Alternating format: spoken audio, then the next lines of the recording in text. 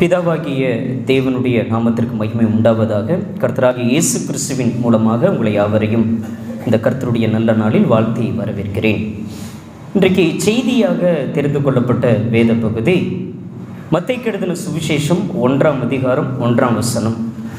மத்தை கெடுதன சுவிசேஷம் ஒன்றாம் அதிகாரம் ஒன்றாம் வசனம். இந்த ஒரு வசனத்திலிருந்து நாம் இன்றைக்கு படித்து நம்முடைய இல்லங்களுக்கு நம் சந்தோஷத்தோடு கூட கடந்து செல்வோம். செய்தியினுடைய தலைப்பு அழைப்பு என்று நாம் பார்க்க முடியும். அழைப்பு. அழைப்பு என்கிற தலைப்பின் கீழாக நாம் இந்த வேத வசனங்களை சற்று நாம் ஆராய்ந்து பார்க்க போகிறோம். மத்தை கெடுதல் சுவிசேஷம் முதலாவது அதிகாரம் முதலாவது வசனம். குமாரனாகிய தாவீதின் குமாரனான இயேசு கிறிஸ்துவனுடைய வம்ச வரலாறு. ஆபிரகாமின் குமாரனாகிய தாவீதின் குமாரனான இயேசு கிறிஸ்தனுடைய வம்ச வரலாறு. புதிய ஏற்பாடிலே முதலாவதாக எழுதப்பட்ட புத்தகம் முதலாவது வைக்கக்கூடிய புத்தகம் மார்க் என்று நாம் பார்க்க முடியும். ஆனால் வம்ச வரலாறு இந்த மத்தை கெடுதன சுவிசேஷம் பெற்றிருப்பதனாலே முதலாவது புத்தகமாக இந்த புத்தகமானது அமைந்திருக்கிறது. இதை எழுதியவர் மத்தியையு அவருடைய பெயருக்கு அர்த்தம் யகோவா ஈவு. இவருடைய வேலை வரி வசூல் செய்வது. மேசியா வருகிறார் என்ற இந்த மத்தை கடுதன சுவிசேஷத்தில் நாம் பார்க்க முடியும். தேவராஜ்யம் வருகிறது என்று அடிக்கடிக்கு சொல்லக்கூடிய ஒரு வார்த்தையாக காணப்படுகிறது. இந்த புத்தகம் யூதர்களுக்கு எழுதப்பட்ட ஒரு புத்தகமாக யூதர்களுடைய நம்பிக்கை நிறைந்த ஒரு புத்தகமாக இந்த புத்தகத்தை நாம் பார்க்க முடியும். இதில் கிட்டத்தட்ட அநேக தீர்க்கதரிசன வசனங்களை லேவியன் ஆகிய அதாவது அந்த மத்தியக்கு இன்னொரு பேர் வந்து லேவி என்று நாம் பார்க்க முடியும். அந்த வரி வசூல் செய்யக்கூடிய மத்திய என்கிறவர் அநேக தீர்க்கதரிச வசனங்களை இதில் பதிவு செய்திருக்கிறார். அதில் முதல் வார்த்தையாக என்ன எழுதப்பட்டிருக்கிறது என்றால் ஆபரகாமின் குமாரனாகிய தாவிதின் குமாரனான இயேசு கிறிஸ்தனுடைய வம்ச வரலாறு நமக்கு எல்லாருக்குமே தெரியும். ஆபரகமுடைய பையன் யாரு? தாவிதா? நான் இல்லை. யாரு?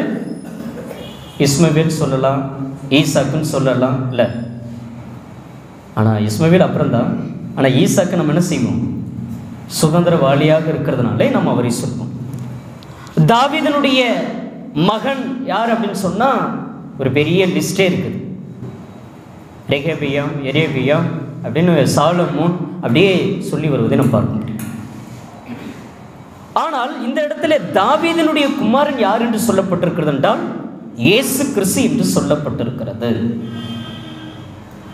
ஆபிரகாம் தாவீது இயேசு கிறிஸ்து ஆபிரகாமின் குமாரனாகிய தாவிதின் குமாரனான இயேசு கிறிஸ்துனுடைய வம்ச வரலாறு. ஆபரகம் தாவீது இயேசு கிறிஸ்து நம்ம அநேகர் இந்த வேதாகமத்தை படித்திருப்போம். இந்த இடத்துல ஆபரகமுடைய குமாரன் தாவிது என்று எழுதப்பட்டிருக்கிறது.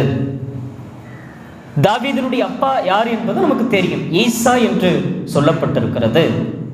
ஆபிரகமுடைய அப்பா யார் என்பது நமக்கு தெரியும். தேராக என்று சொல்லப்படுகிறது.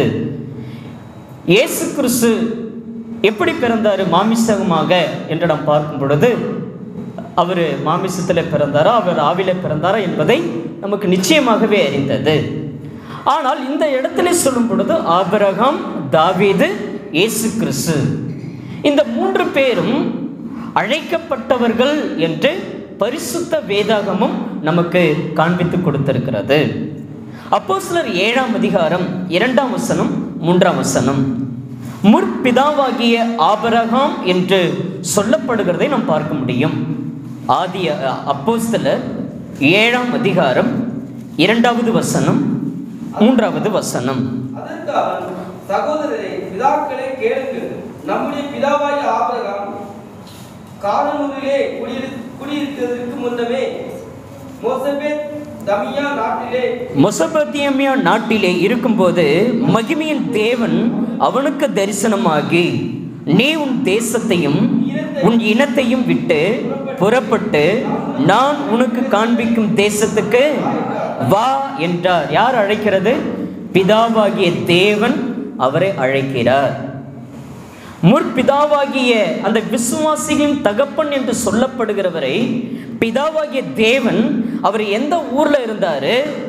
அந்த மகிமையின் தேவனானவர் என்ன சொல்கிறார் என்றால் நீ உன்னுடைய தேசத்தையும் உன்னுடைய இனத்தையும் விட்டு புறப்பட்டு நான் உனக்கு காண்பிக்கும் தேசத்துக்கு வா என்று அழைக்கிறார். வந்தாரா? என்று சொன்னால் வந்தாரு. தன்னுடைய எழுபத்தி ஐந்தாவது எழுபத்தி ஐந்தாவது வயதிலே தேவன் அவரை அழைக்கிறார். நூறாவது வயதிலே ஈசாக்கு என்ன செய்ய முடியும்? பெற்றெடுக்கிறதை பார்க்க முடியும். கூப்பிட்ட பொழுது அந்த கூப்பிட்டு கொடுத்த ஆசீர்வாதங்கள் கொடுத்த ஒவ்வொரு நன்மைகள் அந்த இருபத்தி ஐந்து காலங்களை நாம் பார்க்க முடியும். இருபத்தி ஐந்து ஆண்டு காலங்கள். இப்பவே என்னுடைய தேவன் நம்மளை ஆசீர்வதிக்கணும். இப்பவே நமக்கு எல்லாமே செய்யணும். அவர் என்னை தெரிந்து கொண்டிருக்கிறாரு என் அவர் என்னை என்னை அழைத்தார். என்னை அழைச்சி அவர் என்ன பண்ணி வச்சிருக்கிறாரு? வாழ்க்கை முழுவதும் போராட்டமும் கண்ணீரும் கவலையும் இருக்கிறது. சந்தோஷமே இல்லை. இயேசு கிறிஸ்து சொன்னார் உங்களுக்கு உலகத்தில் உபத்திரம் உண்டு. திடன் கொள்ளுங்கள். நான் உலகத்தை ஜெயித்தேன். அழைக்கிற அழைப்பு அநேக ஊழியர்கள் அழைத்து கொண்டிருக்கிறார்கள். நீங்க வந்தீங்கன்னா ஆசீர்வாதமா மாறிடுவீங்க. ஆபிரகாமுடைய ஆசீர்வாதம் ஈசாக்கு கிடைச்சதா?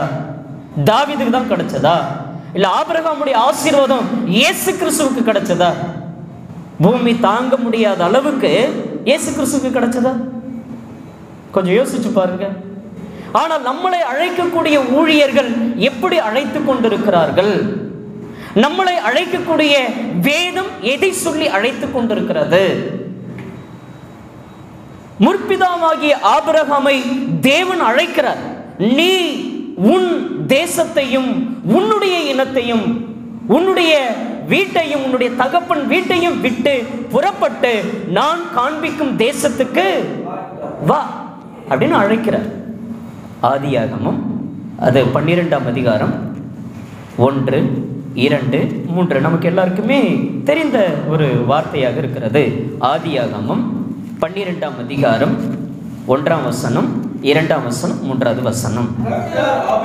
நோக்கி நீ உன் தேசத்தையும் உன் இனத்தையும் உன் தகப்பனுடைய வீட்டையும் விட்டு புறப்பட்டு நான் உனக்கு காண்பிக்கும் தேசத்துக்கு போ. நான் உன்னை பெரிய ஜாதியாக்கி உன்னை ஆசீர்வதித்து உன் பேரை பெருமைப்படுத்துவேன். நீ ஆசீர்வாதமாய் இருப்பாய். உன்னை ஆசீர்வதிக்கிறவர்களை ஆசீர்வதிப்பேன். உன்னை சபிக்கிறவனை சபிப்பேன். பூமியில் வம்சங்கள் எல்லாம் உனக்கு ஆசீர்வதிக்கப்படும் என்றார். பூமியுள்ள வம்சங்கள் எல்லாம் உனக்குள். நம்மெல்லாம் இன்னைக்கு யாருடைய பிள்ளை? நம்முடைய முற்பிதா யாருன்னு கேட்டா என்ன சொல்லலாம்? அபிரகம் தான். பூமியில் உள்ள வம்சங்கள் எல்லாம் உனக்குள் ஆசீர்வதிக்கப்படும். அந்த முற்பிதா நம்முடைய தாத்தா தேவனால் என்ன செய்யப்பட்டிருந்தாரு? அழைக்கப்பட்டிருந்தார். நீங்கள் கீழே மேலே வேதாகமத்தில் வாசிங்கன்னா முப்பத்தி ஓராம் வசனத்தில் தேராக தன் குமாரனாகிய ஆபிரகாமையும் ஆரானுடைய குமாரனும் தன் பேரனமாய் இருந்த லோத்தையும் தன் குமாரன் ஆபிரகாமுடைய மனைவியாகிய தன் மருமகள் சாராவையும் அழைத்து கொண்டு அவர்களோடு கூட ஊர் என்கிற கல்தேயருடைய பட்டணத்தை விட்டு காணான் தேசத்துக்கு போக புறப்பட்டான். அவங்க கூட யாரோடு கூட? ஆபிரகாமோடு கூட யார் பயணிக்கிறது?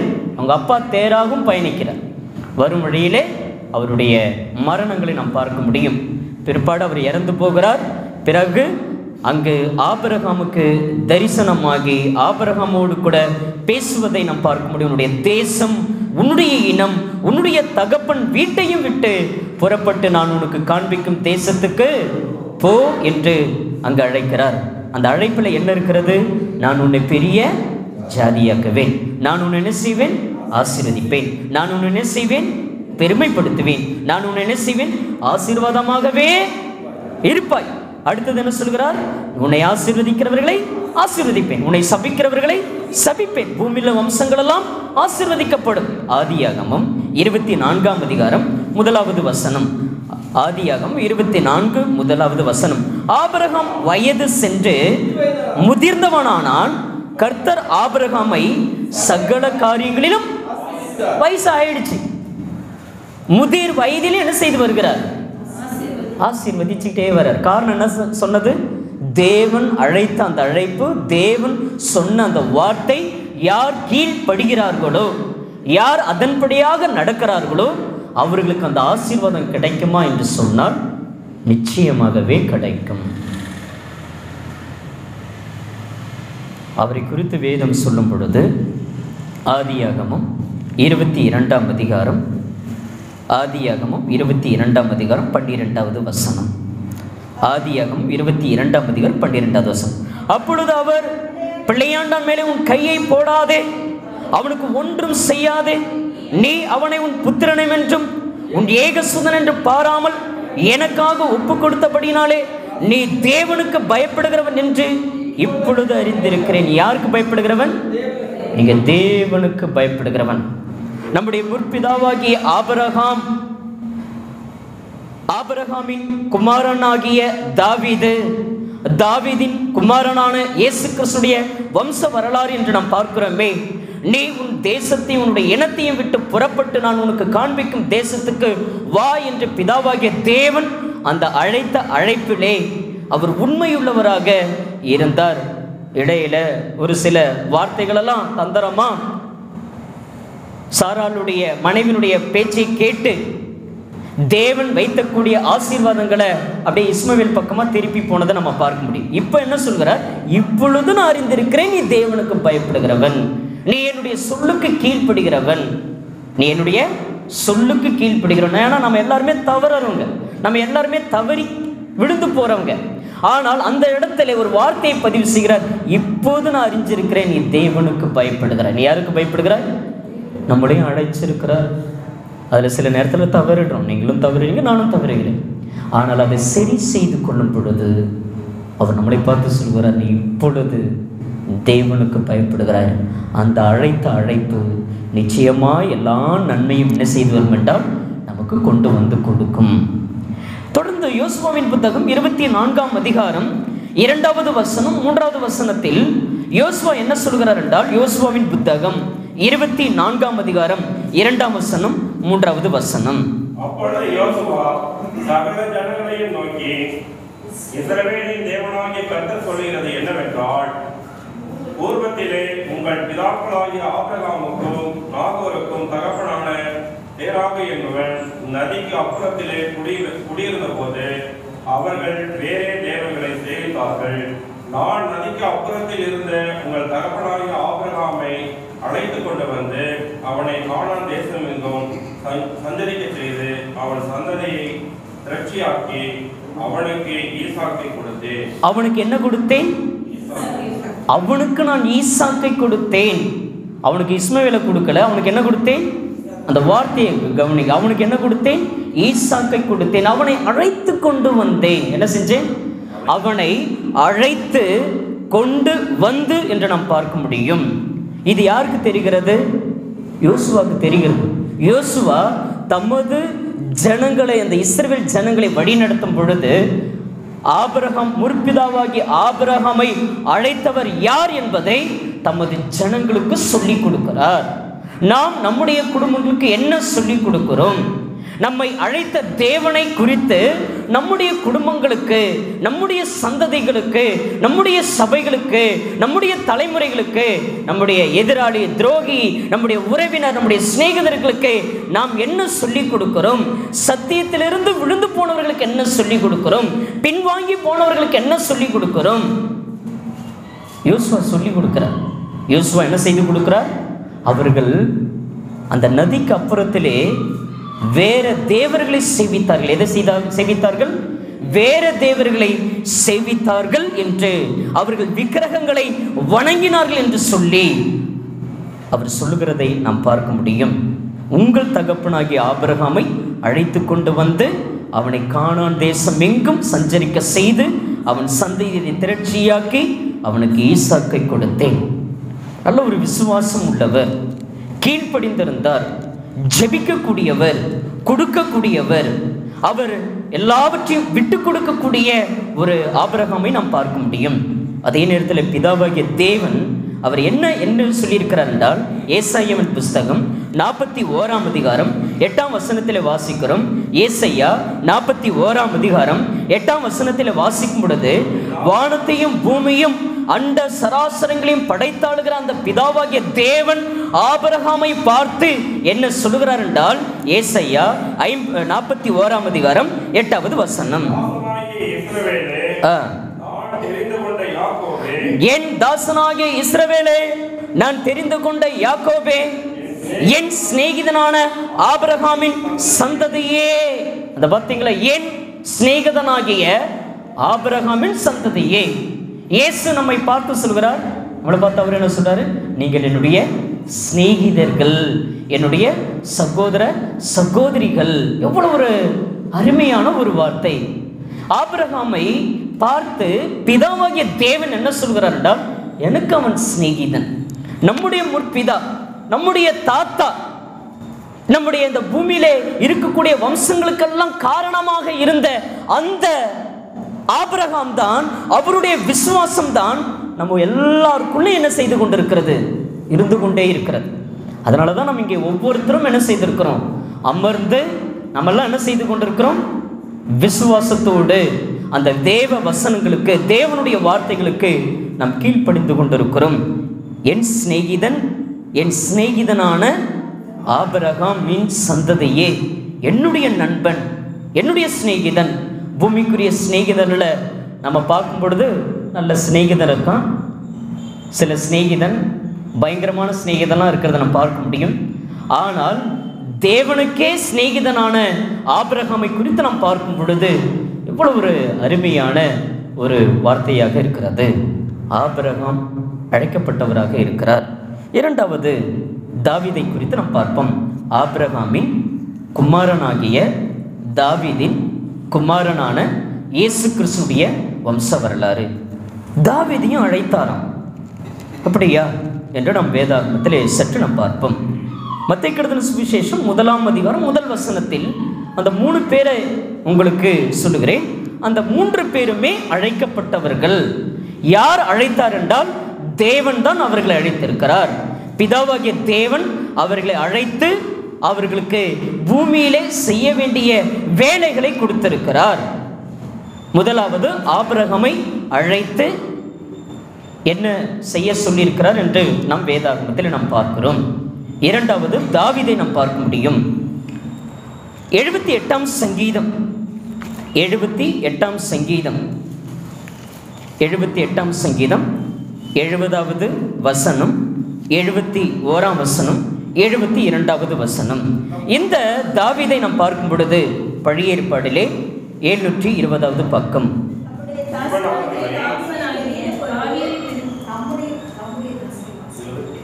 எழுபத்தி எட்டாம் சங்கீதம் எழுபதாம் வசனம் தொடங்கி எழுபத்தி ரெண்டாவது வசனம் வரை தாசனாகிய தாவீதை தெரிந்து கொண்டு ஆட்டுத் தொழுவங்களில் இருந்து அவனை எடுத்தார் கறவல் ஆடுகளின் பின்னாக திரிந்த அவனை தம்முடைய ஜனமாகிய யாக்கோபையும் தம்முடைய சுதந்திரமாகிய இஸ்ரவேலையும் மேய்ப்பதற்காக அழைத்து கொண்டு வந்தார் இவன் அவர்களை தன் இருதயத்தின் உண்மையின்படியே மேய்த்து தன் கைகளின் திறமையினால் அவர்களை நடத்தினார் தம்முடைய தாசனாகிய தாவிதை தெரிந்து கொண்டு ஆட்டு தொழுவத்திலிருந்து ஆடையும் மாடையும் மேய்த்து கொண்டிருந்த அவனை இப்பொழுது தமது ஜனமாகிய சுதந்திரமாகிய தமது ஜனங்களை மேய்ப்பதற்காக தேவன் அவர் என்ன செய்து கொண்டு வந்தார் என்றால் அழைத்து கொண்டு வந்தார். என்ன செய்து வந்தார்? அழைத்து கொண்டு வந்தார். ஆபிரகாமை தேவன் அழைக்கிறார். பூமிக்குள்ள வம்சங்களெல்லாம் ஆசீர்வதியமாய் காணப்படுவதற்கு அவர் ஒரு காரணமாக இருக்கிறார். தாவிதையும் தேவன் அழைத்தார். கரடின் வாய்க்கும் சிங்கத்தின் வாய்க்கும் தப்புவித்து இவ்வளவு ஆடுகளை பாதுகாக்கிற அன்பு செலுத்துகிற தமது ஜனமாகி இஸ்ரவேல் ஜனங்களை மேய்ப்பதற்காக தமது சுதந்திரமாகிய ஆசீர்வாதத்தை அருளும்படியாக தாவிதை தெரிந்து கொண்டார் என்று பார்க்க முடியும். ஆபரகாம் என் சிநேகிதன் என்று சொல்கிறார். தாவிதை என்ன சொல்கிறார் என்றால் என் தாசன் என்று சொல்லியிருக்கிறார். என்ன சொல்கிறார்? என்னுடைய தாசன் என்னுடைய இருதயத்துக்கு ஏற்றவன். யாருடைய இருதயத்துக்கு ஏற்றவன்? தாவித என்ன சொல்கிறார்? தேவன் என்னுடைய இருதயத்திற்கு ஏற்றவன். என்னுடைய தாசன். என்னுடைய தாசன் தமது சுதந்திரமாகிய என்னது சுதந்திரமாகிய நான் தரப்போகக்கூடிய ஆசீர்வாதமாகிய சுதந்திரமான யாருக்கு தர வேண்டும் என்றால் இஸ்ரேல் ஜனங்களை வழி நடத்துவதற்காக தாவிதை அழைத்து கொண்டு வந்தார். யாரை அழைத்து கொண்டு வந்தார்? தாவிதை அழைத்து கொண்டு வந்தார். ஒரு ஆடு மாடு மேய்க்கிறவனை போய் ஜனங்களை மேய்ப்பதற்காக வழி நடத்துகிறார் என்று சொன்னால் தாவீது மீது எவ்வளவு அன்பு இருக்கிறது? அந்த தாவீது தீர்க்க தரிசி என்று சொல்லப்பட்டிருக்கிறது. அந்த தாவிது ராஜாவாக இருந்தார். அந்த தாவிது தேவனுக்கு தாசனாக இருந்தார். அந்த தாவிது தேவனுடைய இறையத்திற்கு ஏற்றவராக இருந்தார். அந்த தாவிது பரிசுத்த ஆவியானவரை கொண்டு அநேக வேத வசனங்களை நாம் பார்க்க முடியும். இயேசு கிறிஸ்துவுக்கு முன் அடையாளமாக இயேசு கிறிஸ்து வருகையினுடைய முன் அடையாளங்களை அறிவிக்கக்கூடிய இருதயத்திலிருந்து சாரி அவருடைய வாயிலிருந்து அந்த வந்த வார்த்தைகளை நாம் பார்க்க முடியும். அதை தான் நம்ம பார்க்குறோம். ரெண்டாம் சங்கீதத்தில் பார்க்கிறோம். இருபத்தி ரெண்டாம் சங்கீதங்களில் பார்க்கிறோம். எவ்வளோ ஒரு அருமையான தேவனுடைய திட்டங்கள் நிறைவேறுவதற்கு தாவிதை எந்த அளவுக்கு பயன்படுத்துகிறார்? நம்ம உடனே சொல்லுவோம் பாவிதானே. அவர் பாவம் செஞ்சார் ஒரு காரியத்தில் அவர் தவறினார். ஒரே ஒரு காரியத்திலே மட்டுமே அவர் தவறினார். அவர் அதை என்ன செய்தார்? சரிப்படுத்தினார். நாம் என்ன செய்து கொண்டிருக்கிறோம்? நம்மளை அழைத்ததான அழைப்பு எப்பேற்பட்டதாக இருக்கிறது? முற்பிதாவாகிய ஆபரகாம் தேவன் அழைத்தார் தவறினார் சரி பண்ணாரு வம்சங்களெல்லாம் ஆசீர்வாதமாய் காணப்படுகிறது. தாவிதையும் அழைத்தார் தவறினார் மீண்டும் அதை சரியாக்குகிறார். நம்மளெல்லாம் சரியாக்குற ஒரு இடம் இந்த இடம். கர்த்தருடைய ஆலயம் தேவனுடைய சமூகம் தேவனுடைய வசனங்களை கேட்க கேட்க கேட்க நாம் அதை என்ன செய்து கொள்ள வேண்டும் என்றால் சரியாக்கி கொள்ள வேண்டும். ஒரு தேவனுடைய பிள்ளைகளாக இருக்க வேண்டும். தேவனுடைய வார்த்தைகளுக்கு நாம் என்ன செய்ய வேண்டும் என்றால் கீழ்ப்படிய வேண்டும். தேவனுடைய வார்த்தை அவ்வளவு மிக முக்கியமுள்ளதாக இருக்கிறது. மூன்றாவதாக இயேசு கிறிஸ்துவை நாம் பார்ப்போம். இயேசுவை நாம் பார்க்க முடியும். இயேசு கிறிஸ்துவையும் அழைத்தார் என்று நாம் பார்க்க முடியும். எபிரேயர் பத்தாம் அதிகாரம் ஏழாவது வசனம். எபிரேயர் புதிய ஏற்பாடிலே பத்தாம் அதிகாரம் ஏழாவது வசனம். எபிரேயர் பத்தாம் அதிகாரம் ஏழாவது வசனம். அப்பொழுது நான் தேவனே உடைய சித்தத்தின்படி செய்ய இதோ வருகிறேன். புஸ்தக சுருளில் என்னை குறித்து எழுதியிருக்கிறது என்று சொன்னேன் என்றார். அப்பொழுது நான் தேவனே உம்முடைய விருப்பத்தின்படி செய்ய உங்களுடைய சித்தத்தின்படி செய்ய இதோ வருகிறேன். புஸ்தக சுருளில் என்னை குறித்து எழுதியிருக்கிறது என்று சொன்னேன் என்றார். இயேசு கிறிஸ்து அழைத்த அழைப்பை நாம் பார்க்க முடியும். ஏசையா ஆறாம் அதிகாரம் பழையேற்பாடிலே ஏசையா ஆறாம் அதிகாரம் எட்டாவது வசனம். ஏசையா ஆறாம் அதிகாரம் எட்டாவது வசனம். இதோ பின்பு யாரை நான் அனுப்புவேன்? யார் நமது காரியமாய் போவான் என்று உரைக்கிற ஆண்டவருடைய சத்தத்தை கேட்டேன். அதற்கு நான் இதோ அடியேன் இருக்கிறேன் என்னை அனுப்பும் என்றேன். இதோ அடியேன் இருக்கிறேன். ஆடு மாடு புறா குஞ்சு மாவு அந்த மாவு கூட பாவ மன்னிப்புக்கு ஒரு காரணமாக இருக்கு. பழைய ஏற்பாட்டில் சொல்லப்பட்டிருக்கு. மாவும் கோதுமை கொடுக்கக்கூடிய மாவும் பாவ மன்னிப்பினுடைய அடையாளம். பாவ மன்னிப்பின் ஆடு மாடு புறா குஞ்சு மாத்திரம் அந்த இரத்தத்தினாலே மாத்திரம் பாவங்கள் மன்னிக்கப்படுவதற்காக மாத்திரமல்ல. இப்படியெல்லாம் கொடுத்து கொடுத்து கொடுத்து பார்த்தா பாவம் பண்ணுறாங்க ஆடை கொண்டு வந்து கொடுக்குறாங்க மாடை கொண்டு வந்து கொடுக்குறாங்க மாவை கொண்டு வந்து கொடுக்குறாங்க புறா கொஞ்சம் கொண்டு வந்து கொடுக்குறாங்க. இப்போ உலகம் எல்லாம் ரட்சிக்கப்பட வேண்டும். தன்னுடைய மனதில் தேவன் ஒரு திட்டங்களை வைத்திருக்கும் பொழுது அப்போ அந்த நேரத்திலே தேவனுடைய வார்த்தை யார் எனது காரியமாய் போவான்? யாரை நான் அனுப்புவேன்? என்கிற உரைக்கிற ஆண்டருடைய சத்தத்தை கேட்கும் பொழுது எப்பா நீ தான் ஒரு தேவ தூதர் ரொம்ப முக்கியமான தேவ தூதர் நீ போப்பா நீ இதை செய்ப்பானா?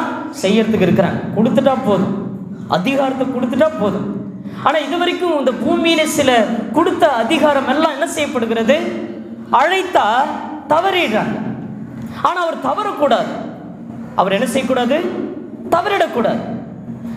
ஆபிரகம் அழைக்கிறார் தவறுகிறார் சரி பண்ணுறார் தாவித அழைக்கிறார் அவர் தவறு பண்ணுறாரு சரி பண்ணுறார் இப்படி ஒவ்வொரு ஊழியர்களையும் ஒவ்வொரு தீர்க்கதரிசிகளையும் அழைக்கிறார் தம்முடைய வார்த்தைகளுக்காக. யார் அப்போ பூமியிலே பார்க்கிறார்? உன்னதங்களிலே பார்க்கிறார். அதற்கு வேண்டிய தீர்க்க தரிசன வசனங்களை ஒவ்வொன்றாக ஒவ்வொன்றாக ஒவ்வொன்றாக அமைத்து அமைத்து அமைத்து வருகிறார். இப்பதான் சொல்றாரு என்னை குறித்து எழுதியிருக்கிற என்னை குறித்து எழுதியிருக்கிற எபிரேயர் பத்தாம் அதிகாரம் ஏழாம் வசனத்திற்கு வாருங்கள். எபிரேயர் பத்தாம் அதிகாரம் ஏழாவது வசனம். அப்பொழுது நான் தேவனே முடிய விருப்பத்தை செய்ய இதோ வருகிறேன். புஸ்தக சூழலில் என்னை குறித்து எழுதியிருக்கிறது என்று சொன்னேன் என்றார். இயேசு கிறிஸ்து நமக்காக அழைக்கப்பட்டவராக இருக்கிறார். எதற்காக அழைக்கப்பட்டிருக்கிறார்? நீதிமான்களுக்கல்ல பாவிகளை ரட்சிக்க மனம் திரும்ப அவர்களை அழைக்கவே நான் வந்தேன் என்று சொல்லப்பட்டிருக்கிறது. பிரியமானவர்களே நம்முடைய வாழ்க்கையிலே பலவிதமான அழைப்புகளை நாம் பார்க்க முடியும். பலவிதமான அழைப்பு. பெரிய பெரிய ஆட்கள் நம்மளை அழைக்கலாம் அதிகாரிகளை அழைக்கலாம் சொந்த பந்தங்களை அழைக்கலாம். பலவிதமாக நம்ம கூப்பிடலாம். தென் கூப்பிட்டா சில பேர் நம்ம வந்து கனம் கொடுக்குறோம் சில பேர் நம்ம அதை வந்து நிராகரிக்கிறோம். இது சரியில்லை இந்த அழைப்பு சரியில்லை. இல்லை இல்லை நான் இப்போ தான் கொஞ்சம் எல்லாத்தையும் தவறான காரியங்கள் பாவ காரியங்களெல்லாம் நான் விட்டுட்டேனி. தப்பான காரியங்களுக்கு போயிடக்கூடாது. நான் அதை சரி பண்ணிக்கிறேன். ஏன்னா என்ன அழைத்தவர்? உண்மையுள்ளவர். என்னை அழைத்தவர்? பரிசுத்தம் உள்ளவர் என்னை அழைத்தவர்? மகா பெரியவர். அந்த அழைத்த அந்த பிதாவாகிய தேவனுக்கு நான் யாராக இருக்கணும்? உண்மையாக இருக்கணும். அந்த வார்த்தைகளுக்கு நான் கீழ்ப்படியணும் என்று சொல்லி அந்த அழைப்புகளிலே பல பேர் உண்மையாக இருக்கிறோம். பல பேர் அந்த அழைப்புகளிலே உண்மையாக இல்லை. நம்முடைய தமிழக முதலமைச்சர் நம்மளை அழைக்கிறார் அப்படின்னு சொன்னால் எவ்வளோ பயம் வரும்? எவ்வளோ நடுக்கம் வரும்? எங்கே? முதலமைச்சர் எங்களை என்ன செய்திருக்கிறார்? அழைத்திருக்கிறார். எங்களுடைய பாத பாரத பிரதமர் எங்களை என்ன செய்திருக்கிறார்? அழைத்திருக்கிறார். எங்கள் தெருவில் இருக்கக்கூடிய எம்எல்ஏ எங்கள் பகுதியில் இருக்கக்கூடிய எம்எல்ஏ எங்களை அழைத்திருக்கிறார். எங்களை அழைத்து. நாங்கள் ஒன்றுமே இல்லை ஆனால் எங்களை அழைச்சதை அதை இந்த இடத்திலே வானத்தையும் பூமியும் அண்ட சராசரங்களையும் படைத்தாளுகிற அந்த மகா பெரிய தேவன் நம்மளை அழைத்திருக்கிறார் என்று சொன்னால் எவ்வளவு பெரிய பாக்கியம் உங்களுக்கும் எனக்கும்.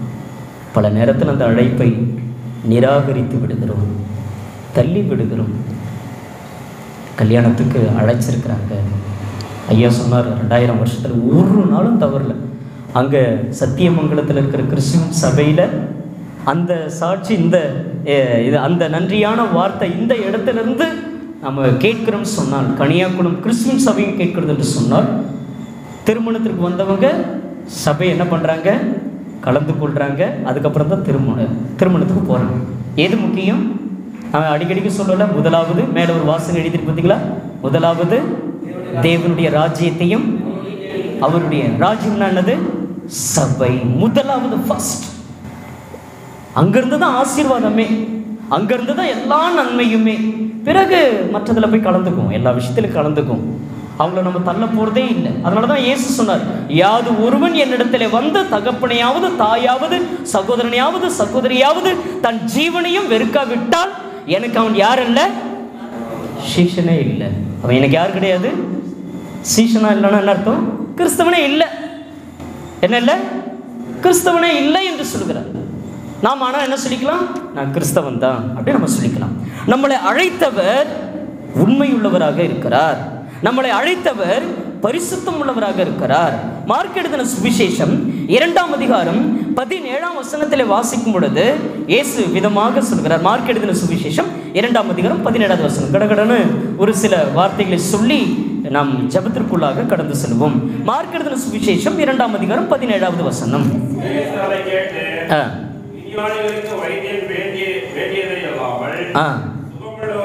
வேண்டியதில்லை. வேண்டியதில்லை. நீதிமான்களை நீதிமான்களை அல்ல பாவிகளையே மனம் திரும்புவதற்கு அழைக்க வந்தேன். நீதிமான்களை அல்ல இயேசு கிறிஸ்து எதற்காக வந்திருக்கிறார்? அந்த ஒரு வார்த்தை நம்முடைய மனதில் இருக்கும் என்று சொன்னால் ஒரு வாரம் தவறிட்டீங்க. ஒரு வாரம் விழுந்துட்டீங்க. தேவனுடைய காரியங்களிலே ஆவிக்குரிய காரியங்களில் சரிவர செய்யவில்லை என்றால் நாம் எப்பேற்பட்ட ஒரு பிள்ளைகளாக இருக்க முடியும்? நீதிமான்களை அல்ல பாவிகளையே மனம் திரும்ப அழைக்க வந்தார். அவர் யார் என்றால் பரிசுத்தம் உள்ளவர். அவர் உன்னதத்தில் பிதாவினுடைய வலது வருஷத்தில் இருக்கிறார். ஒன்று தெசனேக்கியர் ஒன்று குருந்தியர் ஒன்றாம் அதிகாரம் ஒன்பதாவது வசனம். ஒன்று குருந்தியர் ஒன்றாம் அதிகாரம் ஒன்பதாவது வசனம். தம்முடைய குமாரனும் நம்முடைய கர்த்தராக இருக்கிற இயேசு கிறிஸ்துவினோடு ஐக்கியமாயிருப்பதற்கு உங்களை அழைத்த தேவன் உண்மையுள்ளவர் உலகத்தில் பல தெய்வங்கள் இருக்கிறது. ஒன்றுக்கொன்று போட்டி இருக்கிறது. ஒன்றுக்கொன்று பல பொண்டாட்டிகள் இருக்கிறது. பல பிள்ளைகள் இருக்கிறது. எது பிறக்குது. எது எதோ நம்ம அந்த வா காரியங்களை நாம் கேட்டு இருக்கிறோம் நாமெல்லாம் அதை பின்பற்றி நடந்து வந்திருக்கிறோம். எப்போ நம்ம உண்மையான அந்த வார்த்தைகளை கேட்டோமோ கீழ்ப்படிந்தோமோ நம்முடைய தேவனானவர் எப்படிப்பட்டவராக இருக்கிறார் என்றால் உண்மை உள்ளவராக இருக்கிறார் என்று வேதம் சொல்கிறது. அவர் உண்மையுள்ளவராக இருக்கிறார். அந்த உண்மையுள்ளவர் எதற்காக அழைக்கிறார் என்றால் இரண்டு திம்மெத்தியும் ஒன்றாம் அதிகாரம் ஒன்பதாவது வசனம். அவர் எதற்காக அழைச்சாரு? அவர் உண்மையுள்ளவர். சரி எங்களுடைய பாவத்திலிருந்து எங்களை வந்து மனம் திரும்புவதற்கு அவருக்கு அழைத்த வந்தார். ஓகே. அடுத்தது அவர் எதற்காக அழைக்கிறாரு என்று நாம் பார்க்கும் பொழுது இரண்டு திமேத்தியோ ஒன்றாம் அதிகாரம் ஒன்பதாவது வசனம். அவர் நம்முடைய கிரிகளின்படி நம்மை ரட்சியாமல் தம்முடைய தீர்மானத்தின்படி ஆதிகாலம் முதல் கிறிஸ்து இயேசுவுக்குள் நமக்கு அருளப்பட்ட கிருபையின்படி நம்மை ரட்சித்து பரிசுத்த அழைப்பினாலே அழைத்தார். நம்மளை எதற்கு அழைத்தாரு? பரிசுத்த அழைப்பு. என்ன அழைப்பு? பரிசுத்த அழைப்பு. அசுத்தத்தில் இருந்த நம்மை பரிசுத்தத்திற்கு அழைக்கிறார். அநீதியில் இருந்த நம்மை நீதி நீதிக்கு அழைக்கிறார். உண்மையே இல்லாத இருந்த நம்மை உண்மையா இருக்கணும்னு சொல்லி அழைத்திருக்கிறார். வந்த இடத்துல நம்ம எப்படி இருக்கணுமா? உண்மையா இருக்கணும். கோபப்படக்கூடாது சண்டை போடக்கூடாது அசிங்கமாக பேசக்கூடாது. இப்படி தான் பைபிள் சொல்லியிருக்கிறது. இப்படி தான் பரிசுத்த ஆவியானவர் நமக்கு வசனம் கொடுத்துருக்கிறாரு. இப்படி தான் நம்முடைய வாழ்க்கையை நம்ம வாழணும். நம்ம தவறி போயிடக்கூடாது. ஏன்னா நம்மளை அழைத்த தேவன் உண்மை உள்ளவராக இருக்கிறார். அவர் பரிசுத்தத்திற்காகவே அழைத்திருக்கிறார். உங்களை எதற்காக அழைத்தாரு? அசுத்தத்திற்காக அல்ல உங்களை பரிசுத்தத்திற்கே அழைத்திருக்கிறார் என்று பரிசுத்த வேதாகமானது சொல்லுகிறது. இந்த பரிசுத்தமான அழைப்புகளில் எது இருக்க வேண்டும் என்றால் வாசித்து பாருங்கள். ஒன்று திமேத்தியோ ஒன்றாம் அதிகாரம் பன்னிரெண்டாவது வசனம். ஒன்று திமேத்தியோ ஒன்றாம் அதிகாரம் பன்னிரெண்டாவது வசனம். என்னை பலப்படுத்துகிற நம்முடைய கர்த்தராகி இயேசு கிறிஸ்து என்னை உண்மையுள்ளவர் என்று எண்ணி இந்த ஊழியத்திற்கு ஏற்படுத்தினபடியால் அவரை ஸ்தோத்திரம் பண்ணுறேன் இந்த அழைத்த அழைப்பில் வேற என்ன இருக்கிறது? நம்ம எல்லாருமே வேலை செய்யணும்? நம்ம எல்லாரும் என்ன செய்யணும்? ஊழியக்காரன் தான் செய்யணும். மற்றவங்களாம் செய்யக்கூடாது நம்ம எல்லாருமே சேர்ந்து செய்ய வேண்டும். நீங்களும் நானும் அவியங்களாக இருக்கிறோம். நீங்களும் நானும் இயேசு கிறிஸ்துவுக்குள்ளாக யாராக இருக்கிறோம்? சரீரமாக இருக்கிறோம். இந்த அழைப்பிலே அவர் என்ன சொல்கிறார் என்றால் அப்போஸ்தலனாகிய பவுல் என்னை உண்மை உள்ளவன் என்று எண்ணி இந்த ஊழியத்தை கையில் கொடுத்துருக்கிறாரு. நீங்களாம் நீங்களும் நானும் யாராக இருக்கிறோம்? உண்மை உள்ளவர்களாக இருக்கிறோம்.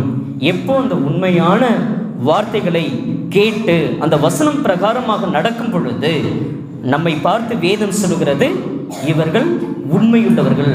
கொஞ்சத்தில் நீ உண்மையாக இருந்தனா? அநேகத்தில் உன்னை யாராக்குற? அதிகாரியாக்குறேன். அதுக்காக தான் உன்னை அழைச்சது. நீ கொஞ்சமாவது உண்மையாக இரு.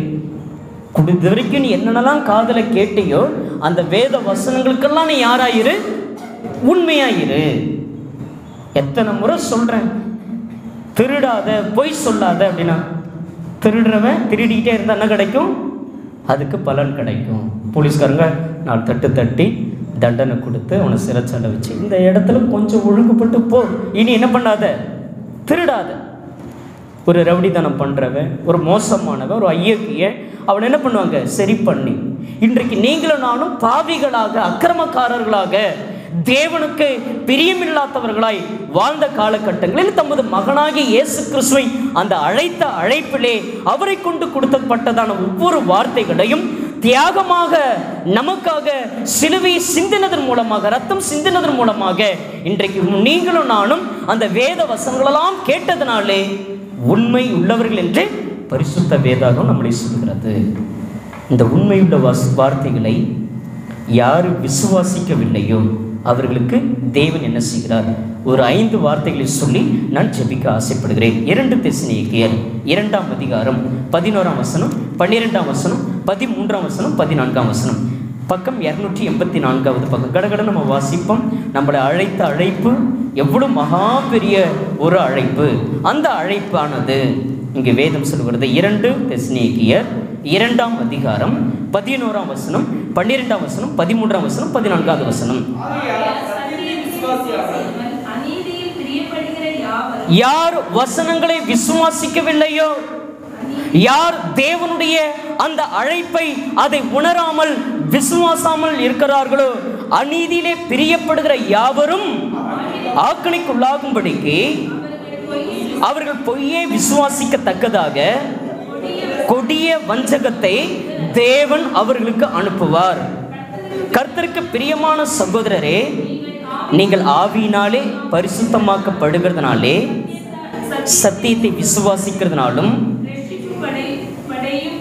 ஆ, ஆதி முதல் தேவன் உங்களை தெரிந்து கொண்டபடியினாலே நாங்கள் உங்களை குறித்து எப்பொழுதும் தேவனை ஸ்தோத்திரிக்க கடனாளியாக இருக்கிறோம் பதினாலு நீங்கள் நம்முடைய கர்த்தராகிய இயேசு கிறிஸ்துவின் மகிமையை அடையும் பொருட்டாக எங்கள் சுவிசேஷத்தினாலே அந்த ரட்சிப்புக்கு அவர் உங்களை அழைத்தார் அவர் எதற்கு அழைத்தார்?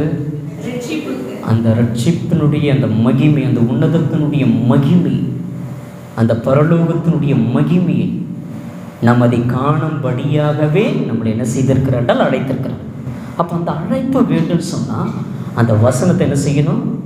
விசுவாசிக்கணும்.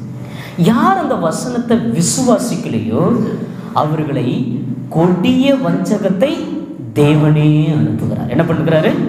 கொடிய வஞ்சகத்தை. நீ நீ சத்தியத்தை விசுவாசிக்க மாட்ட.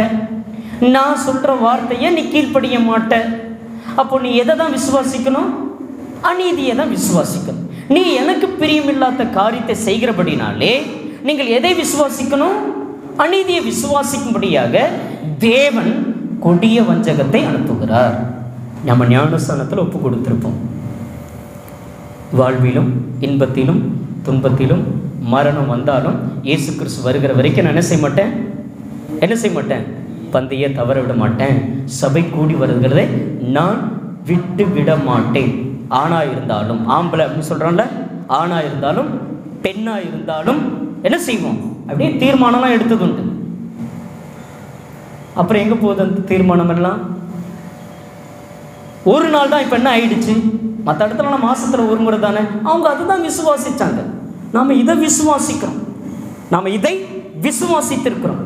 யார் இந்த சத்திய வசனத்தை விசுவாசிக்கலையோ அநீதியிலே பிரியப்படுகிற யாவரும் மற்றதெல்லாம் தேவனுடைய நீதியை தவிர மற்ற அந்த நாள் கர்த்தருடைய நாள் கர்த்தருடைய ஆவியிலே கலந்து கொள்ளாதவர்கள் எல்லாம் அநீதியிலே பிரியப்படுகிற யாவரையும் கர்த்தர் ஆக்குனைக்குட்படுத்துகிறார் என்று எழுதப்பட்டிருக்கிறது. அதில் மன்னிச்சிருவார். அவர் ஏழல்ல எழுபது தரம் பண்ணுவார். அது ஏழு எழுபது தரம் யாருக்கு? ஏழு எழுபது தரம் மன்னிக்கிறவர் யாருக்கு? இல்லை யாருக்கு அது மன்னிக்கிறாரு? கிறிஸ்துவுக்குள் வருவதற்கு முன்னாடி மன்னிச்சுட்டே இருக்கிறார். இந்த பாவி மன்னிக்கப்படணும். இந்த அக்கிரமக்காரன் மன்னிக்கப்படணும். வந்ததுக்கு அப்புறம் திரும்ப நான் பாவம் பண்ணிட்டேன். இல்லைங்க பாவிகளை ரட்சிக்க கிறிஸ்து இயேசு உலகத்தில் வந்தார். அதனால் நான் இப்பொழுது பாவி. ரட்சிக்கப்பட்ட பிறகு பாவியா? ரட்சிக்கப்பட்ட பிறகு பாவியா? ரட்சிக்கப்படுவதற்கு முன்பு தான் பாவி. ரட்சிக்கப்பட்ட பிறகு அவன் யாரு? நீதிமான். அவன் யாரு? பரிசுத்தவான். அவன் யாரு? விசுவாசி. அவன் யாரு? தேவனுடைய பிள்ளை. அவன் யாரு? அவன் கர்த்தருடைய சுதந்திரமாமே. அவன் யாரு? தேவனுடைய பண்ணை. தேவனுடைய மாளிகை. எவ்வளவு ஆசீர்வாதமான வார்த்தையை கொடுக்கிறாரு? அவன் என்னுடைய சிநேகிதன் அவன் என்னுடைய சீஷன் அவன் என்னுடைய தேவனுடைய பிள்ளை அவன் என்னுடைய இருதயத்துக்கு ஏற்றவன் அவன் உண்மையா இருக்கிறான். ஏன்னா நான் அழைத்த அழைப்பு அப்பேற்பட்ட அழைப்பு. அப்பேற்பட்ட அழைப்பு. யார் இந்த அழைப்பை நிராகரிக்கிறோமோ? வாரம் தானே அடுத்த வாரம் பார்த்துக்கலாம். அந்த ஐயாவும் அந்த அம்மாவும் அழகாக கல்யாணத்தில் வந்துட்டு முடிச்சுட்டு போயிருக்கலாமே. ஏன் இங்கே வரணும்? கன்னியாகுமரி கிறிஸ்டின் சபையை தேடி ஏன் வரணும்? அப்போ பார்த்துருப்பாங்க. ஊழியர்கிட்ட கேட்டிருக்கலாம். நம்முடைய எடிஜுவல் பிரதரோடு கூட பேசி அவருடைய நம்பர் எனக்கு அது கிடைத்து நான் அவரை தொடர்பு கொண்டு ஐயா ரெடி ஆயிட்டாங்க. ராத்திரி எத்தனை மணிக்கு படுத்தா காலையில் தான் வந்திருப்பாங்க. படுத்தாங்களா தூங்குனாங்களா? இருந்திருக்கும். அவங்கள முகஸ்துதிக்கல்ல தேவனுடைய நாமம் மகிமைப்படுகிறது. இன்றைக்கி காலையில் எட்டு மணி. எட்டு மணி தொழுகையில் இங்கே இருக்கிறாங்க. உலக அழைப்பு சொந்த பந்த அழைப்பு நல்லா இருக்கும் வெக்கப்பட்டு நிற்போம். அதை உணர்ந்தவர்களுக்கு மாத்திரமே தெரியும். அதை உணர்ந்தவர்களுக்கு மட்டும்தான் தெரியும். ஒரு வழியாக உங்கள் சொந்த பந்தங்களை உங்களை தூஷிக்காமல் ரொம்ப அன்பு செலுத்தவங்களா இருக்கும். ஆனால் ஏதோ ஒரு காரியம் இருக்கும். நம்முடைய தாய் தகப்பனாக இருந்தாலும் பெற்றோராக இருந்தாலும் சொந்த பந்தங்களாக இருந்தாலும் கூட சிநேகிதன் ஒரே தட்டில் சாப்பிட்றனாக இருந்தாலும் யாராக இருக்கட்டும். நம்மளை அழைச்சிருக்கிற நான் யார்? நான் யாருன்னு காட்டணும். எனக்கும் வேலை இருக்குது. இருக்குதா இல்லையா? உங்களை மாதிரி தான் நானும். எனக்கும் மனைவி பிள்ளைங்க சொந்தம் பந்தம் சுகவீனங்கள் பலவீனங்கள் எனக்கும் என்னுடைய சொந்தக்காரங்கள்லாம் எந்த நாளில் தான் வைக்கிறாங்க? ஞாயிற்றுக்கிழமை தான் வீடு போகிறது கல்யாணம் பண்ணுறது எல்லாம் அந்த நாளில் தான் வச்சுருக்காங்க. ஆனால் அவங்களுக்கு தெரியும் ஊழியக்காரர். நீங்களும் நானும் தேவனுடைய பிள்ளை என்பதை காண்பிப்போம். யாக்கோபின் இரண்டாம் அதிகாரம் பத்தொன்பதாம் வருஷம் நம்ம சத்தியத்தெல்லாம் விசுவாசிக்கிறோம் விசுவாசிக்கிறோம்னு சொல்கிறோமே இங்கே ஒருத்தர் பயங்கரமாக விசுவாசிக்கிறார். இந்த வசனத்தை பாருங்க முந்நூற்றி பதினாலாவது பக்கம். இங்கே யார் விசுவாசிக்கிறதுன்னு பாருங்க. இங்கே அந்த விசுவாசிக்கிறவர் யார்? நீங்கள் பார்த்தீங்கன்னா அவங்க பிள்ளையா நம்ம தேவனுடைய பிள்ளையா என்பது தெரிய வரும். தேவன் ஒருவர் உண்டென்று விசுவாசிக்கிறாய். அப்படி செய்கிறது நல்லதுதான். பிசாசுகளும் என்ன செய்கிறது? விசுவாசத்தை என்ன செய்கிறது? நடுங்குகின்றது. எல்லாரும் விசுவாசிக்கிறாங்க தான். எல்லாருமே தேவனுடைய அழைப்புக்கு வந்தவங்க தான். ஆனால் வேதம் என்ன சொல்கிறது பிசாசும் விசுவாசிக்கிறது. பிசாசும் நடுங்குகிறது. பிசாசும் பயப்படுகிறது. என் தாவிதன் குமாரனே உமக்கும் எனக்கும் என்ன? ஏன் இங்க வந்தீர்? நாங்க மட்டும் எங்க வேலையை செஞ்சுட்டு இருக்கோம். எதுக்கு இங்க வந்திருக்கிறீங்க? பிசாசும் விசுவாசிக்கிறது பிசாசும் நடுங்குகிறது. பிசாசு என்ன செய்கிறது? கீழ்ப்படுகிறதா என்று சொன்னால்தான் ஒரு கேள்விக்குறி அமைகிறது. ஆனால் நீங்களும் நானும் யாரை விசுவாசிக்கிறோம்? சத்தியத்தை தேவனை விசுவாசிக்கிறோமா? இயேசுவை விசுவாசிக்கிறோமா? கொடுக்கப்பட்ட ஒவ்வொரு வசனங்களையும் விசுவாசத்தோடு கூட நடந்து கொண்டே வருகிறோமா? கொடுத்தாலும் சரி கொடுக்கலனாலும் சரி செஞ்சாலும் சரி. அதனால தான் நம்முடைய முற்பிதாவாகிய ஆபரகம் இருபத்தி ஐந்து ஆண்டு காலங்கள். எத்தனை ஆண்டு காலங்கள்? இருபத்தி ஐந்து ஆண்டு காலங்கள் காத்திருந்து அந்த நன்மையை அவர் பெற்றுக்கொண்டார். ஆடையும் மாடையும் மேய்க்கிறது இல்லப்பா நான் இஸ்ரவேல் ஜனங்களையே மேய்ப்பதற்கு ஒன்று என்ன செய்கிறேன்? தெரிந்து கொள்கிறேன். நான் யார் தெரியுமா? என் வேலை என்ன தெரியுமா? என் குடும்பம் என்ன தெரியுமா? எல்லாரும் அவங்க அவங்களுடைய குடும்பம் பற்றி தெரியும். அவங்க அவங்களுடைய எல்லா சூழ்நிலையும் தெரியும். ஆனால் இப்போ இருக்கக்கூடிய வேலையோ பணமோ சாப்பாடோ அதை மேன்மை வைத்து பழைய நிலைமைக்கு என்ன செஞ்சிடாதீங்க? விழுந்து போயிடாதீங்க. ஏன்னா தேவன் தான் என்ன கொடுக்குறாரு? ஆசீர்வதிக்கிறார். அண்ணாலம்மா ஒரு அழகான ஒரு ஜெபம் பண்ணுவாங்க. அந்த ஒரு வார்த்தையை சொல்லி நான் ஒரு மூன்று வசங்களை சொல்லு சொல்லுகிறேன். ஒன்று சாமவே இரண்டாம் அதிகாரம். ஒன்று சாமவே எடுத்துட்டீங்களா? இரண்டாம் அதிகாரம். அந்த அண்ணாலம்முடைய ஜெபம் அவ்வளோ ஒரு அருமையான ஒரு ஜெபம். ஆறாம் வசனம் ஏழாம் வசனம் எட்டாம் வசனம். கர்த்தர் கொள்ளுகிறவர் அவர் தான் கொள்றாரு அவர் தான் உயிர்ப்பிக்கிறார். அவர்தான் பாதாளத்தில் இறங்கவும் பண்ணுறாரு அதுலேருந்து அதிலிருந்து ஏற பண்ணுகிறவர் அவர்தான். தான் யார் அடைய செய்ய வைக்கிறாரு? எப்போ தேவனுடைய வார்த்தைகளுக்கு விசுவாசிக்கவில்லையோ கீழ்ப்படியவில்லையோ அப்பொழுதே அவர் என்ன கொடுக்குறாரா? தரித்திரத்தில் கொடுக்குறாரு. எதை கொடுக்குறாரு? உண்மையே இல்லையா? உண்மை. ஐயோ நான் பண்ண இது ஐயோ இது தரித்திரம். அவங்க கண்ணு வச்சாங்க இவங்க கண்ணு வச்சாங்க. இவங்களுக்கு அதை கொடுத்தேன் இவங்களுக்கு அதை பண்ணேன். அவங்களுக்கு இதை செய் நல்லது நினச்சி தான் இந்த காரியத்தை பேசினேன். இந்த தரித்திரம் இப்படி வந்துடுச்சு சொல்லுவோம்ல. ஆனால் வேதம் சொல்லுகிறது இந்த தரித்திரம் கர்த்தர் அடைய செய்கிறார். அவரே என்ன பண்ணுகிறாரா? ஐஸ்வர்யம் அடைய பண்ணுகிறவரும் ஆயிருக்கிறார். அவர் தாழ்த்துகிறார் அவர் உயர்த்துகிறார் அவர் சிறியவனை புழிதிலிருந்து எடுத்து எளியவனை குப்பையிலிருந்து உயர்த்துகிற தேவன். அப்ப இந்த உயர்வு கிடைச்சதுக்கு அப்புறம் தேவனை மறந்துடலாமா? எல்லாம் வந்து ஒட்டுது. இப்போ கொஞ்சம் கொஞ்சமாக அந்த உயர்வு வந்த பிறகு ஆராதனை தொழுகை எல்லாம் ஜெபம் பண்ணுறது எல்லாம் வேத வார்த்தைகளெல்லாம் வேத வாசிப்புகளெல்லாம் கொஞ்சம் கொஞ்சம் கொஞ்சம் கொஞ்சமாக போயிட்டே இருக்கு. ஏன்னா இப்போ உயர்வு கிடைச்சிடுச்சுல கொஞ்சம் மேன்மை கிடச்சிடுச்சு இல்லையா? எளியவனை குப்பையிலிருந்து உயர்த்துகிறார். நாளைக்கு அந்த எளியவன் குப்பையிலிருந்து உயர்த்தப்பட்ட போது மேன்மை நின்றுகிட்டு இருப்பான். நாம் எங்கே இருப்போம்? நாம் எங்கே இருப்போம்? நான் சொல்லலை நீங்கள் தான் சொல்லணும். நீங்கள் தான் தீர்மானம் பண்ணணும். அப்போ இன்னும் நம்ம தேவன் மீது இன்னும் பரிசுத்தமாக இருக்கிறவன் பரிசுத்தமாக இருக்கட்டும் இன்னும் மகிமை செலுத்துகிறவன் இன்னும் மகிமை செலுத்தட்டும். செய்யாத பொழுது கீழ்ப்படியாத பொழுது சத்தியத்திற்கு அந்த அழைத்த அழைப்பை உணராத பொழுது உங்களுக்கு எனக்கு என்ன கிடைக்கிறது? அபரகாம் தாவீது இயேசு கிறிஸ்து. எவ்வளோ அழகான ஒரு வார்த்தை. ஆபிரகாமின் குமாரனாகிய தாவிதின் குமாரனான இயேசு கிறிஸ்துடைய வம்ச வரலாறு நம்ம எதை படிச்சு போயிடுவோம். வா ஸ்வைன். நாற்பத்தி ரெண்டாவது தலைமுறையில் தான் இயேசு கிறிஸ்து பிறக்கிறார். எத்தனாவது தலைமுறை? நாற்பத்தி இரண்டாவது தலைமுறையில் இயேசு கிறிஸ்து வந்து பிறக்கிறார். நீங்களும் நானும் எத்தனாவது தலைமுறை நமக்கு தெரியாது. தாத்தா பேர் என்னன்னு கேட்டால் சொல்லுவோம். அதுக்கு தாத்தா பேர் கேட்டால் என்னன்னு சொல்லுவோம். அதுக்கு தாத்தா பேர் என்னன்னு கேட்டால் சொல்லுமா தெரியல.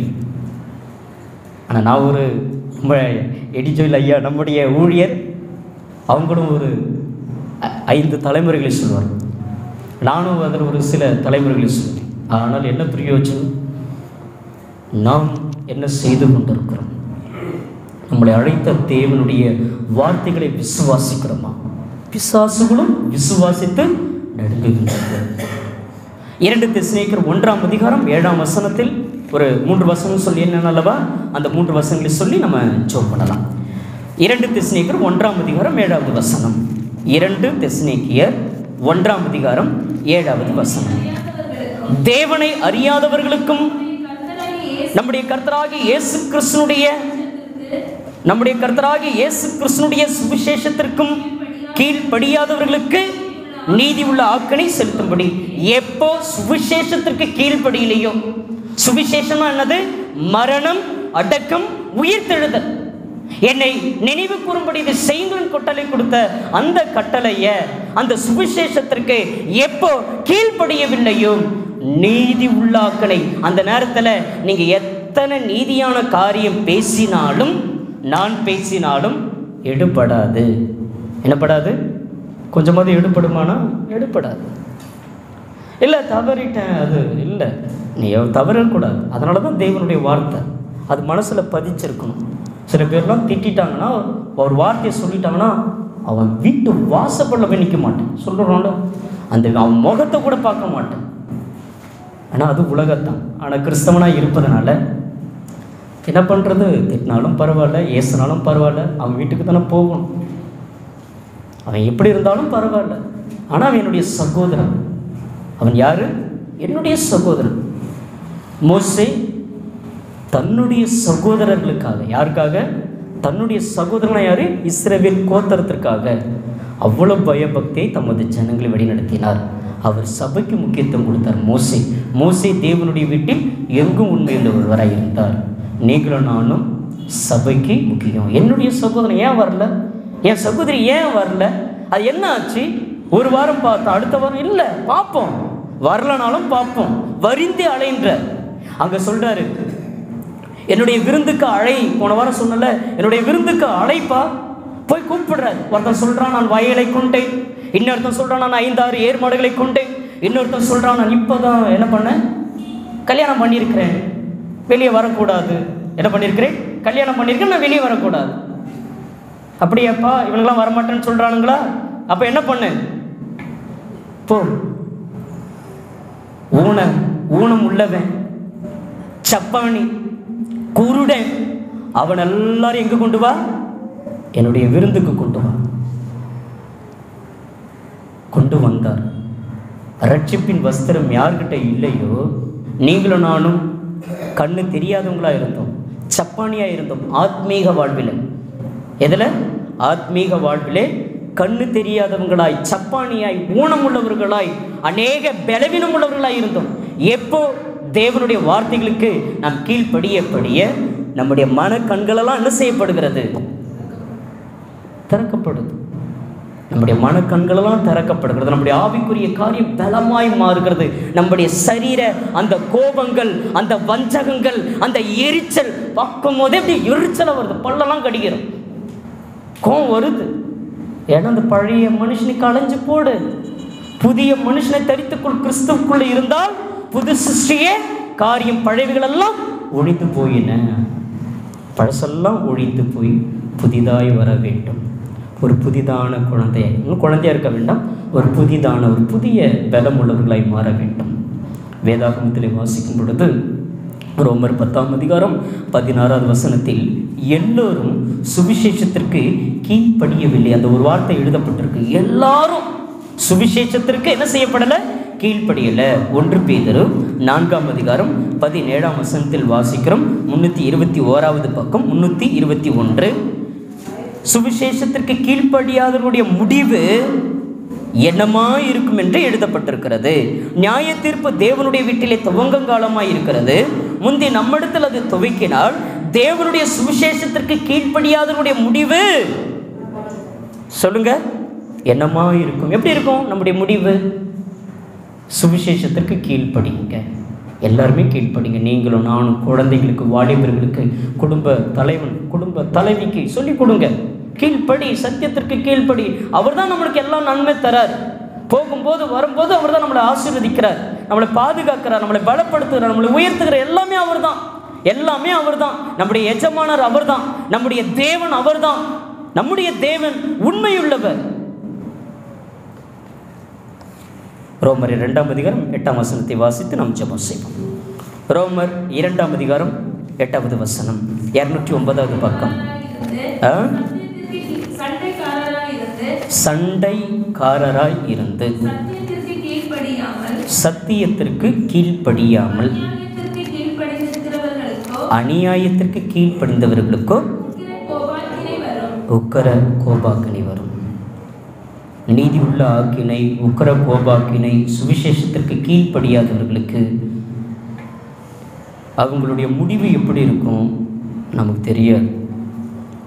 ஆனால் நீங்களும் நானும் எப்போ இந்த வார்த்தைகளெல்லாம் கேட்டோமோ அப்பை நம்மை சரி பண்ணிக்கொள்ள வேண்டும். இல்லை மாற மாட்டேன் அப்படிதான் சொன்னால் உங்களுக்கு எனக்கும் உக்கர கோபாக்கினை வரும். தண்டனை வரும். சொல்லலாமா? கேட்டுட்டு கா இந்த காதலை கேட்டுட்டு இந்த காதலை விட்டுடுறதல்ல. இந்த காதலை கேட்டு இருதயத்தில் பதித்து வாயினாலே சொல்ல வேண்டும். அதனால தான் இயேசு கிறிஸ்து பல இடங்களிலே போகும் பொழுது ஊழியம் செய்யும் பொழுது நான் உனக்கு என்ன செய்ய வேண்டும்? அதனால தான் வாய் கொடுத்துருக்கிறாரு. வாயை வச்சுக்கிட்டு அமைதியாக இருந்தால் எப்படி? போய் சொல்லி கொடுக்கணும் இல்லையா? சத்தியத்தை சொல்லணும் இல்லையா? சத்தியத்தை யார் விசுவாசிக்கவில்லையோ அவர்கள் ஆக்கணிக்குட்படுவார்கள் என்று எழுதப்பட்டிருக்கிறது. நம்மை அதற்காகத்தான் அழைத்திருக்கிறார்.